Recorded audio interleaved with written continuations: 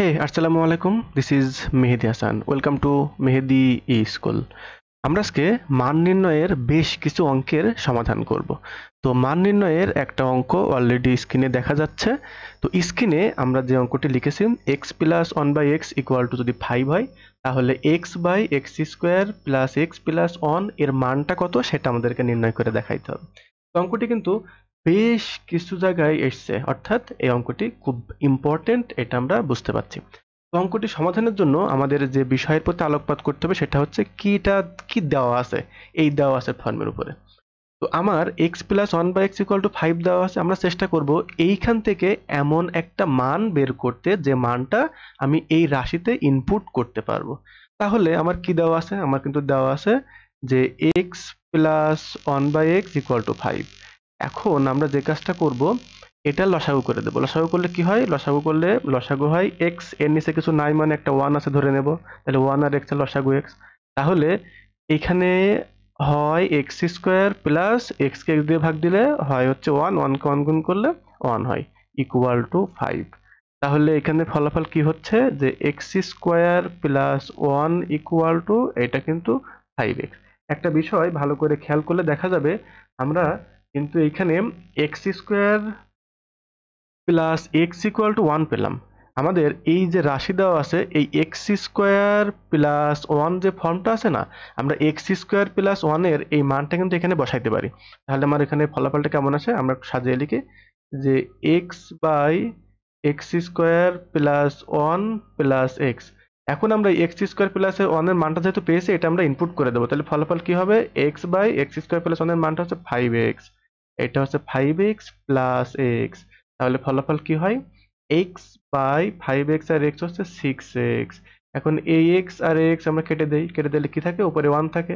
তাহলে one by six তাহলে আমাদের ফলাফল হিসেবে এই ওয়ান বাই সিক্সটা হচ্ছে কারেক্ট আনসার আমরা পরে আরেকটা অঙ্ক দেখি। তাহলে বিষয়গুলো আরও ক্লিয়ার হব। এখানে একটা অঙ্ক আছে। এখানে অঙ্কে বলছে যে আমার x plus one by x equal to four যদি হয়, তাহলে x square plus three x plus one আমরা আস্তে আস্তে পর্যায়ক্রমিকভাবে একটু ক্রিটিক্যালের দিকে যাব। আগে আমরা সহজ অঙ্কগুলো একটু সমাধান করে নিই। এইখানে আমরা একই কাজ করব। X plus one by x দেওয়া আছে। তাহলে x plus x plus one by x equal to four তাই না? X plus one by x equal to four আচ্ছা তো এইখান থেকে আমরা এখানে এক্সের আগে একটা দাগ চলে আসছে। এটা একটু মুছে দেই। আচ্ছা তো আমরা এইখানে লসাগু করে দেবো। লসাগু করলে কি হয়? এক্স তাহলে এখানে কি কি হয়? X square plus one equal to four তাহলে x square plus one equal to four x মান পেয়ে গেলাম। এখানে বসাবো। এক্স স্কোয়ার প্লাস ওয়ানের জায়গায় মানটা বসাবো। তাহলে ফলাফল কি হয়? X by x square plus ওয়ানের মান হচ্ছে ফোর এক্স তাহলে এটা হচ্ছে ফোর এক্স প্লাস এটা হচ্ছে থ্রি এক্স তাহলে ফলাফল কি হয়? X by seven x x R x vanish হয়ে যায়। তাহলে কি থাকে? ওয়ান বাই সেভেন তাহলে কিন্তু আমরা বলতে পারি আমাদের ডি নম্বর আনসারটা কারেক্ট এখন আমরা চলে যাই আরও বেশ কিছু অঙ্কে। এখন যেটা আসছে, এইখানে একটা মাইনাস ফর্ম চলে আসছে। আসলে এইগুলো দেখে ভয় পাওয়ার কোনো কারণ নেই। সব অঙ্কই মূলত একই কোয়ালিটির তো এখানে আমরা লসাগু করে দিই b plus one by b এর লসাগু করে দেবো। তো লসাগু করলে কি হয়? লসাগু হয় হচ্ছে বি ওপরে কি থাকে? ওপরে থাকে বি স্কোয়ার প্লাস ওয়ান আর এখানে হচ্ছে টু তাহলে যদি আমরা আর গুণন করে দিই তাহলে বি স্কোয়ার প্লাস ওয়ানের মান হচ্ছে টু বি তাহলে এই বি স্কোয়ার প্লাস ওয়ানের মানটা এখানে বসিয়ে দেই, তাহলে কি থাকে? Two b by b square plus ওয়ানের মান পেয়েছি আমরা টু বি তাহলে টু বি মাইনাস বি তাহলে আমরা যদি ক্যালকুলেশন করি কি থাকে? টু বি থেকে টু বি বিয়োগ করলে শুধুমাত্র বি থাকে, এই বি বি কেটে যায়, ফলাফল হিসেবে কিন্তু আমার আনসার টু হয়। আমরা এগুলো যত প্র্যাকটিস করব তত আমাদের জন্য ভালো। এবার আমরা চলে যাই আমাদের পরবর্তী যে অঙ্কটা লিখেছি আমরা, সেই অঙ্কে। বলছিলাম যে আমরা পর্যায়ক্রমিকভাবে একটু ক্রিটিক্যাল অঙ্কের দিকে যাব। তো এখন যে অঙ্কটা এসছে, এটা কিন্তু স্বাভাবিক অঙ্কের মতো নাই। তো এইটা স্বাভাবিক অঙ্কের মতো নাই বলা ভুল। এটা আসলে যেগুলো সমাধান করছি আমরা, এই অঙ্কটি এই অঙ্কটি এই অঙ্কটি, এদের মতোই, তবে এখানে আমার ওপরে একটা ডিজিট দেওয়া আছে। তো এই দেখে ভয় পাওয়ার কোনো কারণ নাই, আমরা সমাধান একই প্রসেসে করব। প্রথমে আমরা এর লসাগু করে দেবো। লসাগু করলে কি হয়?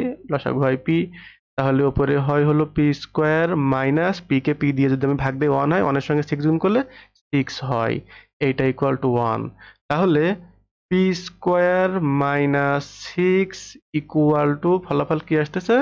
ফলাফল কিন্তু পি আসতেছে। এখন একটা বিষয় আমাদের এইখানে যে এই অঙ্কটি দেওয়া আছে সুন্দর করে খেয়াল করতে হবে যে p minus p by six দেওয়া আছে কিন্তু। এখন আমরা পি স্কোয়ার মাইনাস সিক্স সমান কিন্তু কি পেয়েছি? পি পেয়েছি, তাই না? তো আমাদের এইখানে যে ফর্মটা দেওয়া আছে, এখানে কিন্তু কোথাও p square minus six form ছিল না। কিন্তু খেয়াল করলে দেখা যাবে p square minus p form আছে। আমরা জাস্ট সাইডটা চেঞ্জ করে দেবো। তাহলে কি হবে? P square minus p equal to কিন্তু সিক্স হবে। কেন? এই পি এর আগে প্লাস ছিল, মাইনাস হয়ে গেল, মাইনাস ছিল, প্লাস হয়ে গেল। এখন তাহলে ফলাফল কি দাঁড়ায়? পি স্কোয়ার মাইনাস পি এর মানটা আমরা বসিয়ে দেবো। Six by p square minus p এর মান সিক্স, মাইনাস ওয়ান। তাহলে কি হবে? সিক্স বাই ফাইভ এই সিক্স বাই ফাইভ হচ্ছে আমার ফাইনাল আনসার আমার মনে হয় এইটুকু বুঝতে কারোর অসুবিধা নাই। আমরা চলে যাই আমাদের পরবর্তী অঙ্কে। এই অঙ্কটা একটু একটু না, তুলনামূলক বেশি ক্রিটিক্যাল কারণ এটার ভিতরে একটু ক্যালকুলেশনটা একটু বেশি। আমাদের মনে রাখতে হবে, এই ধরনের অঙ্ক যদি মান নির্ণয় করতে পারলে অবশ্যই আমাকে দেওয়া আছে ফর্ম থেকে একটা ফর্ম এখানে তৈরি করে নিতে হবে।